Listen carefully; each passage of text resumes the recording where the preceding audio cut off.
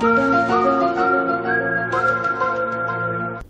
mừng quý vị và các bạn đến với bản tin du lịch và sự kiện của Lương Gia.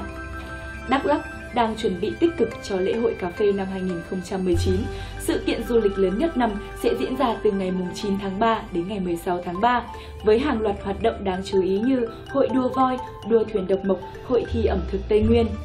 Với chủ đề Tinh hoa đại ngàn, lễ hội sẽ tiếp tục quảng bá thương hiệu cà phê Buôn Mê Thuật, khẳng định vị trí của cà phê Đắk Lắk nói riêng và vị trí quan trọng của ngành cà phê Việt Nam nói chung trên thị trường thế giới. So với 6 lần tổ chức trước đó, nội dung chương trình năm nay có những đặc điểm đặc sắc hơn như lần đầu tổ chức cuộc thi cà phê đặc sản Việt Nam, thu hút nhiều nhà sản xuất chế biến cà phê đăng ký tham gia.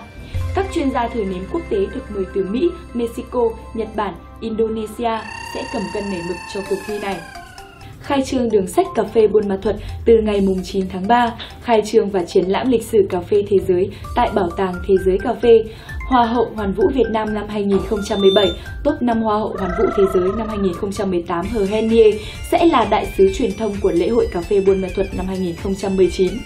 Lễ hội hứa hẹn sẽ mang đến cho du khách và nhân dân những cảm nhận sâu sắc về tinh hoa cà phê, bản sắc văn hóa, tình cảm và sự hiếu khách của Tây Nguyên, cũng như mong ước đưa nơi đây trở thành điểm đến của những người yêu cà phê trên toàn cầu.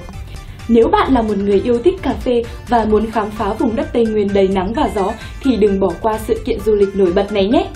Cảm ơn quý vị và các bạn đã theo dõi bản tin du lịch và sự kiện của Lương Gia. Hẹn gặp lại quý vị và các bạn ở những bản tin tiếp theo.